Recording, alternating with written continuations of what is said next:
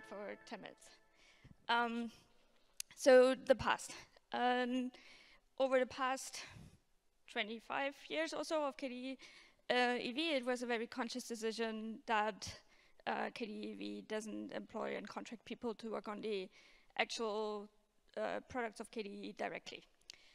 And there were many reasons for that, among them that the organization just wasn't mature enough to handle that.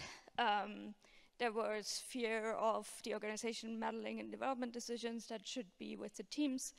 Um, it was quite a large overhead. Um, and it was a bit hard to figure out how we can fund the, the basics of the organization and much needed groundwork projects that maybe don't have so much visibility and, and still are really important for us and need um, funding. So that's why we stayed away uh, from that so far.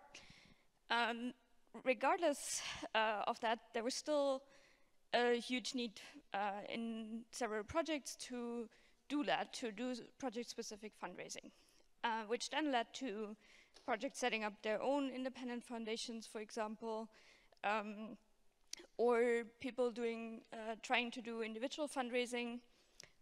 And all of that comes with quite a few drawback and risks for the people involved, which is not cool. And because of all of that, um, for uh, um, the year before last, I think, uh, we started thinking about this Make a Li Living initiative, um, where we tried to figure out how can uh, working professionally on KDE's project um, and products be done in a way that the KDE can support and what should KDE do to make that happen. And the first results of that whole process are out now, um, which means we are trialing uh, project-specific fundraising and we're trying to make that possible. And we're trialing this with Kdenlive uh, first because it's a very attractive project and uh, a very eager team uh, that wants to do amazing things.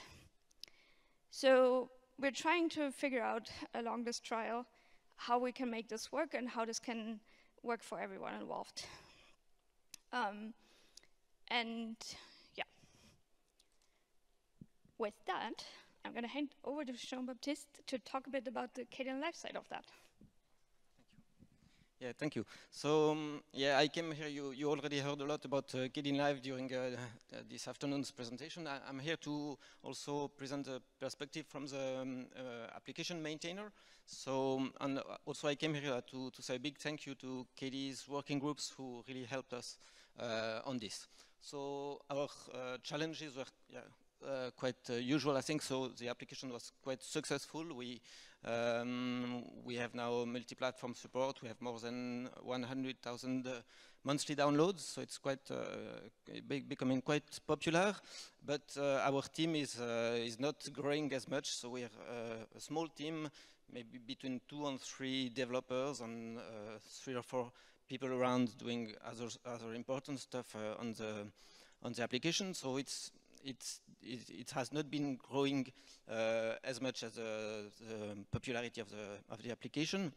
So the workload is increasing on us, and uh, we, we can't progress as fast as we, as we want. So what can we do about this?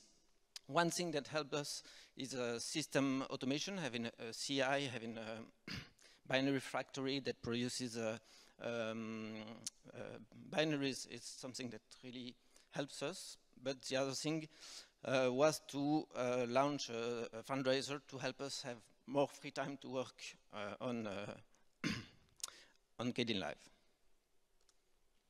So for the past few years, we had uh, discussion, discussions about how to how to do this, and uh, it's almost exactly one year ago that I emailed the KDE EV board to, to announce that we, we plan to do a fundraising.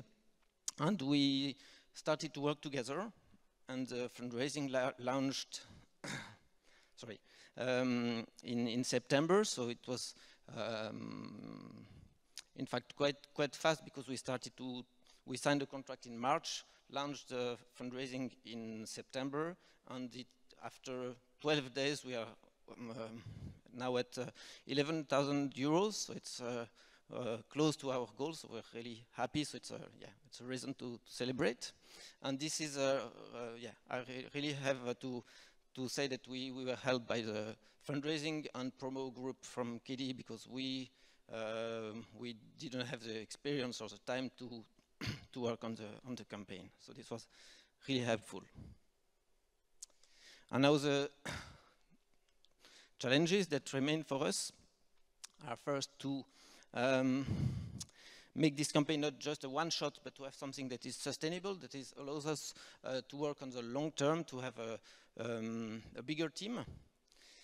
To also, uh, we need to increase our presence, so we, we will need more promo to go to events, to be more known. And the last point is, uh, of course, to, to keep having fun, because it's, it's also because we, why, we, why we do this.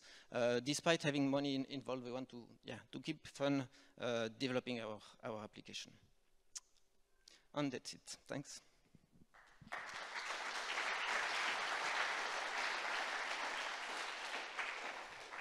Thank you, Toby. Um, that brings us to what's in the future. Um, so as we talked about, we're now trialing this with Kdenlive, um, and for a while, and we'll uh, support this very extensively. And any help with that is appreciated. So we can, for example, move the fundraiser over the goalpost. Um, so you all can help make this uh, a success. Um, once we've gained some experience with this and are happy with it, uh, we will open this up to potentially more projects.